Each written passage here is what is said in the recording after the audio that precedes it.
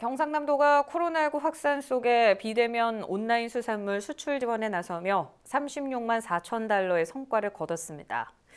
경남도는 국가별 비대면 마케팅과 해외 바이어 온라인 수출 상담회, 온라인 상점 홍보 판촉전, 경남 수산식품 안테나쇼 운영 등을 지원했습니다. 특히 일본 동경사무소 경남무역과 협업회, 일본 내 제일농식품연합회 회원사 9개 사이트와 일본 현지 대형 온라인 사이트에 도내 수산물 해외 온라인 상점을 입점해 성과를 냈습니다.